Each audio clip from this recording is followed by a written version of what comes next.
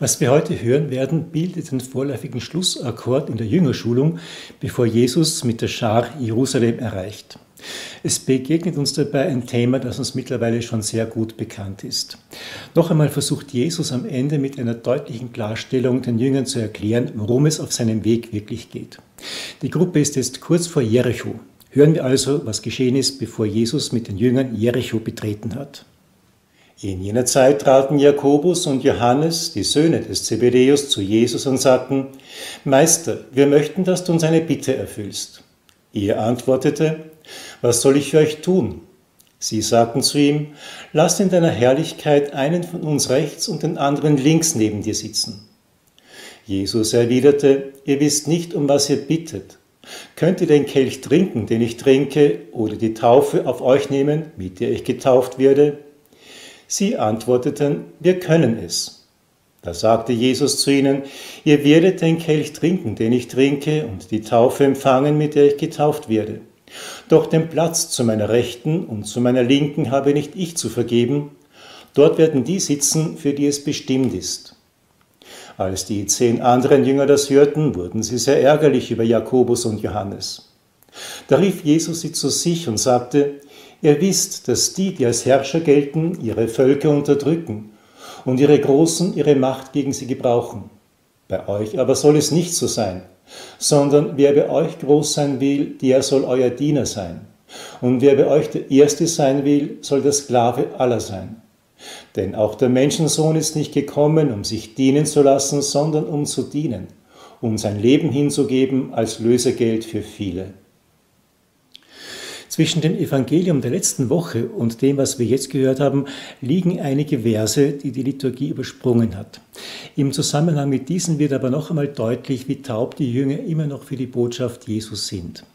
Es war zu lesen, wie Jesus jetzt endgültig den Weg nach Jerusalem antritt und die Leute, die das sehen, sind verwundert und die, die ihm nachfolgen, haben Angst. Angst und Bangigkeit ist da. Was wird Jesus und was wird die Schar wohl in Jerusalem erwarten? Und Jesus schenkt ihnen noch einmal reinen Wein ein. Zum dritten Mal spricht er vom Schicksal, das ihn in Jerusalem erreichen wird. Siehe, wir gehen nach Jerusalem hinauf, und der Menschensohn wird den Hohepriestern und den Schriftgelehrten ausgeliefert. Sie werden ihn zum Tod verurteilen und den Heiden ausliefern. Sie werden ihn verspotten, anspucken, geiseln und töten und nach drei Tagen wird er auferstehen. Das sind also die Worte, die Jesus spricht, unmittelbar bevor die beiden Zebedäus-Söhne zu Jesus mit ihrer Bitte kommen. Die Zebedäus-Söhne, Jesus nennt sie auch die Donnersöhne. Und die beiden sprechen Jesus mit dem Titel Meister an. Im Griechischen steht da das Wort Didaskale. Wir kennen das Wort vom Begriff Didaktik. Es bedeutet also eigentlich Lehre. Sie nennen ihn Lehrer, obwohl sie bis jetzt von der Lehre Jesu noch kaum etwas angenommen haben. Sie sagen, Meister, wir möchten, dass du uns eine Bitte erfüllst. Auch uns liegt es oft näher, Gott um etwas zu bitten, als zu fragen, was er von uns will. Aber auf der anderen Seite ist es auch nicht falsch, mit dem Bitten zu Gott, beziehungsweise hier jetzt auch zu Jesus zu kommen. Im Grunde dient die Jüngerschulung ja auch dazu, dass wir die Sehnsucht nach den rechten Gütern entwickeln und dass wir Gott um das bitten, was er eigentlich geben möchte. Und er möchte nicht etwas geben, er möchte sich selbst schenken. Jesus stellt also die Gegenfrage, was soll ich für euch tun? Und in dieser Frage liegt vielleicht auch so ein Funken Hoffnung, dass die Jünger schon verstanden haben, was Jesus für sie wirklich tun kann und wirklich tun will. Und diese Frage verbindet das heutige Evangelium mit dem, was nächste Woche zu hören sein wird, wo ein Blinder Jesus bittet, ihm zu helfen. Auch da fragt Jesus, was soll ich für dich tun? Während die beiden Zebedäus-Söhne noch taub sind für die Lehre Jesu, blind für das, was Jesus geben möchte, wird der Blinde die richtige Bitte stellen und sie wird ihm auch erfüllt werden. Die Jünger dagegen sagen jetzt, lass in deiner Herrlichkeit einen von uns rechts und den anderen links neben dir sitzen.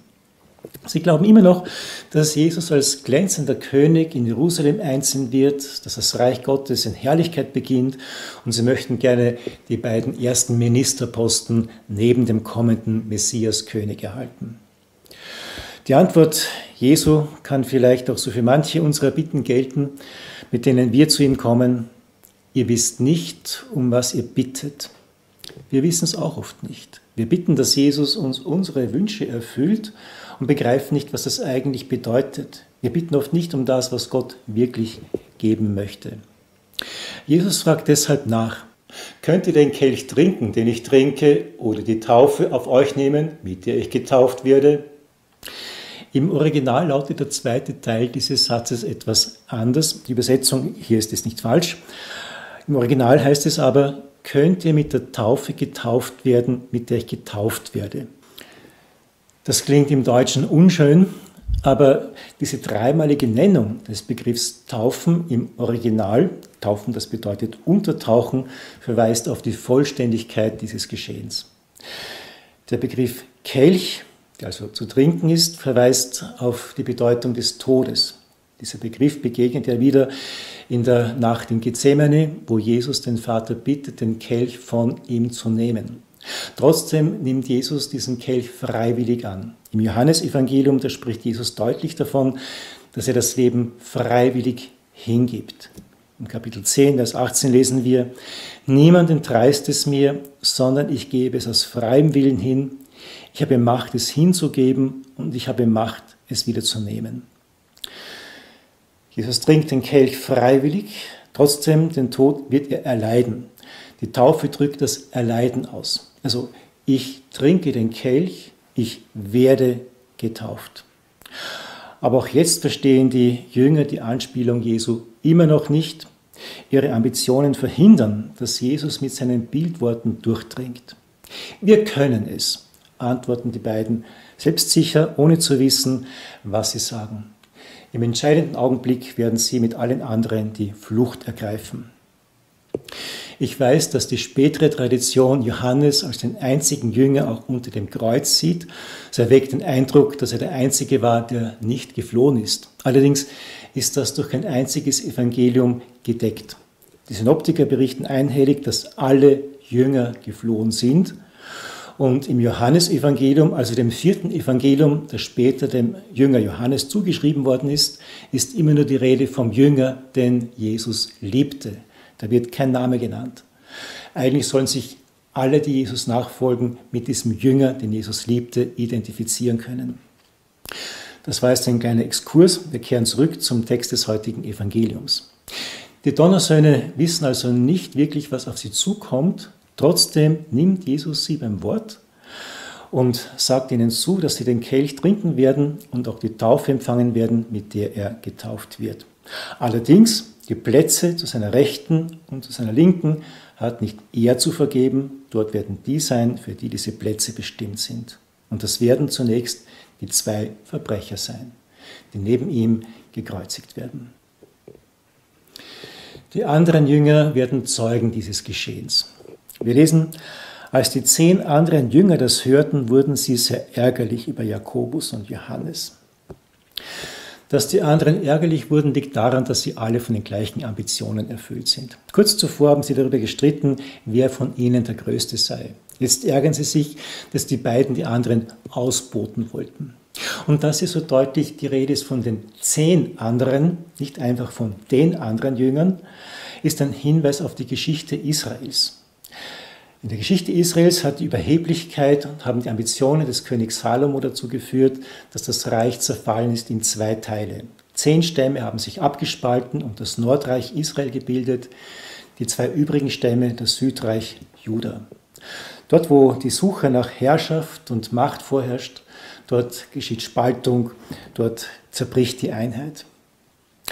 Dann heißt es, da rief Jesus die Jünger zu sich. Das ist es etwas sonderbar, denn wir gehen davon aus, dass die Jünger ja um Jesus versammelt sind. Die beiden Zebedäus-Söhne sind direkt bei ihm, die anderen sind alle in Hörweite, aber sie sind nur körperlich da. Sie sind nicht wirklich bei Jesus. Er muss erst zu sich rufen. Und Jesus erteilt ihnen noch einmal eine Lehre und er spricht jetzt nicht in Gleichnissen, nicht in Bildern. Ihr wisst, dass die, die als Herrscher gelten, ihre Völker unterdrücken und die Großen ihre Macht gegen sie gebrauchen. In der Weise, wie Jesus das ausdrückt, macht er schon deutlich, dass die Herrschaft der meisten Mächtigen angemaßte Herrschaft ist. Sie gelten als Herrscher, aber als Herrscher dienen sie nicht ihren Völkern, sondern sie benützen die Menschen für eigene Zwecke. Die, die Macht haben, nützen die Macht gegen die Menschen, nicht um ihnen zu dienen, nicht um ihnen zu helfen.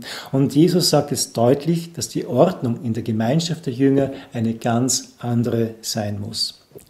Bei euch aber soll es nicht so sein, sondern wer bei euch groß sein will, der soll euer Diener sein, und wer bei euch der Erste sein will, der soll Sklave aller sein. Es ist also eine umgekehrte Karriere, die die Jünger anstreben sollen.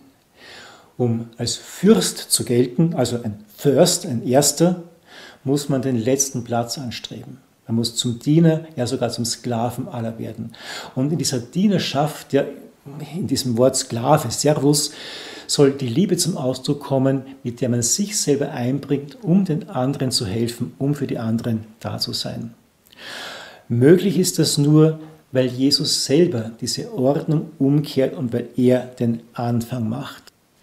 Jesus hat im Grund bereits mit seinem ganzen Leben und Wirken gezeigt, was es bedeutet, in dieser neuen Ordnung zu leben. Er ist nicht als Herrscher aufgetreten, hat den Menschen nichts befohlen oder auferlegt, er hat sie geheilt, befreit, aufgerichtet, ermutigt, eingeladen. Er etabliert eine neue Ordnung. Er kommt als Diener zu den Menschen. Die Jünger waren bis jetzt taub für seine Worte, blind für das, was Jesus getan hat. Sie werden erst langsam aufwachen, wenn sie sehen, dass Jesus diesen Weg wirklich bis zur äußersten Konsequenz durchhält, bis zur Hingabe des Lebens. So sagt es Jesus. Denn auch der Menschensohn ist nicht gekommen, um sich dienen zu lassen, sondern um zu dienen, um sein Leben hinzugeben als Lösegeld für viele. Jesus ist also der Diener aller Menschen und er geht diesen Weg des Dienens und der Hingabe bis zur äußersten Konsequenz. Die Jünger haben das bis jetzt noch nicht verstanden. Sie sind taub für seine Worte, blind für das, was Jesus getan hat. Sie sind Sklaven ihrer eigenen Ambitionen. Deshalb muss Jesus das Lösegeld bezahlen, damit sie befreit werden aus ihrem Gefängnis. So viele Menschen sind Sklaven ihrer Ängste und ihrer Egoismen. Auch für sie muss Jesus das Lösegeld bezahlen, indem er sein Leben schenkt. Ein Leben, das die Grenzen dieser Welt und dieser Zeit übersteigt. Wer sich aber von Jesus mit diesem Leben beschenken lässt, der muss keine Angst mehr um sich selber haben.